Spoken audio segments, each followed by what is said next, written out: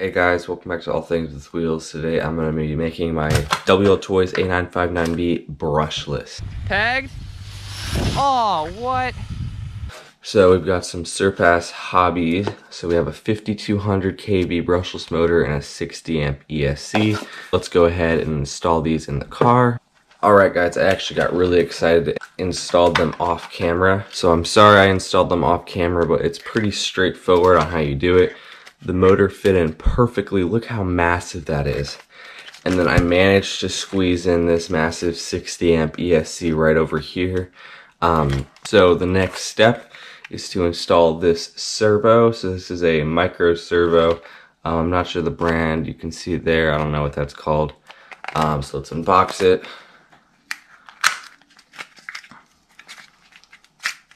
So it's going to be the perfect size for the A959B.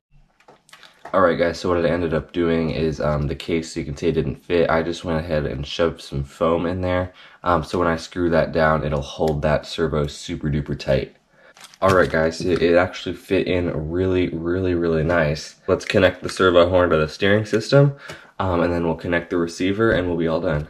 So what you're going to do for that, you're going to take your servo plug, that is going to go on channel 1, making sure the black wire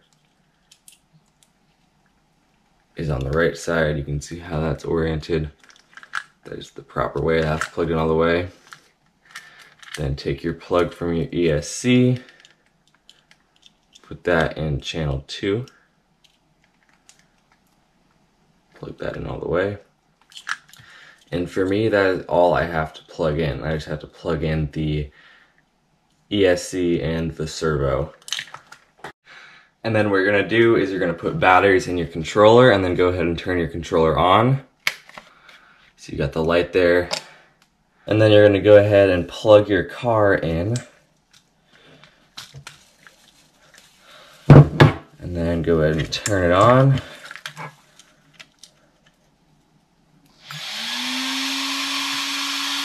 All right.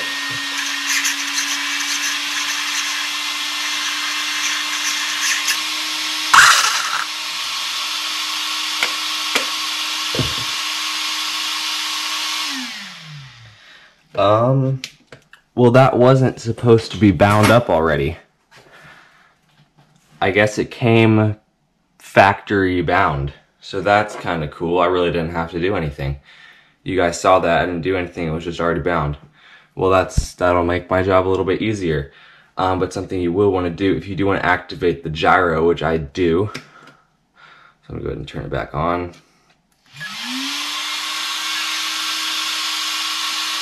So you can see there's a little button right there. And if you press that little short taps three times,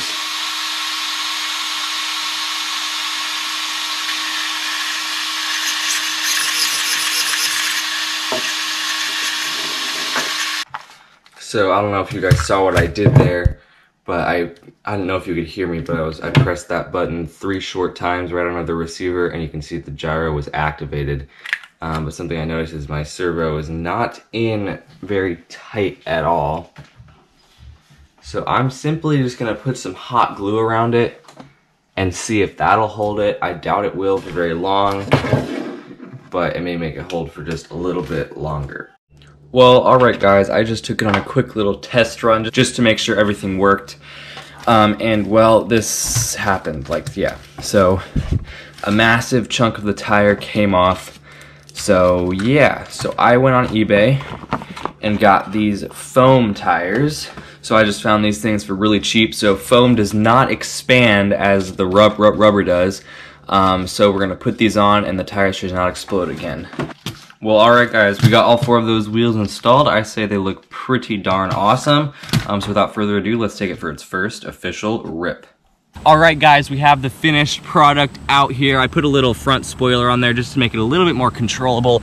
We're at this super long, super smooth road. It'll be perfect to hit some super high speeds. We're gonna be running a 2S60C LiPo battery, so let's get it powered on, put the speed meter on, and get straight to speed runs. All right, guys, so you can see the Dumbo RC, I got the gyro turned on, so that's gonna help it keep it straight. So I'm not steering it at all, it just has a gyro built in, so that just will help keep it straight. So we got the speed meter right here, let's turn it on. This is a Dynamite Speed Meter 2.0 mode, mode, and then enter. I think we're all recording. All right, let's stick it on and do our first speed runs. All right, guys, the cars have finally stopped. Let's do another pass.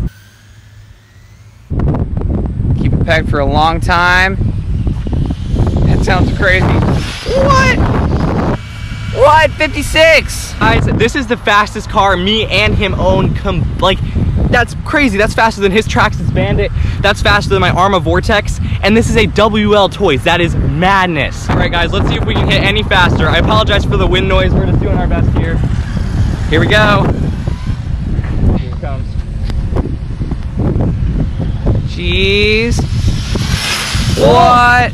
That was full. That was full for a second. That was crazy. Here it comes. Pegged. Oh, what? Oh no, flipped over. What a hit. Let's see. Let's see. 59 miles an hour. Guys, that is 59 miles per hour on a WL Toys with a Google RC system. We are gonna hit 60 in this video, I promise you. Here we go. We gotta get 60 and get up right next to it. All right, guys, so that was the best pass we've had today. It crashed right over here. We're gonna see what we hit. I have a feeling that was 60 miles per hour. When that passed me, I felt the speed. It was crazy. It's 60! 60 miles per hour right there. You saw it first. That is crazy. We're gonna do a couple more speed runs, see if we can get any faster, and then the video is, is effectively over. Guys, 60 miles per hour is insane. To put this into perspective, the Arrma Vortex 3S BLX with the high speed pinion gear is claimed to hit 60 miles per hour and that costs $400. And this is a WL Toys that I paid around $250 for all these upgrades. This is. This is crazy.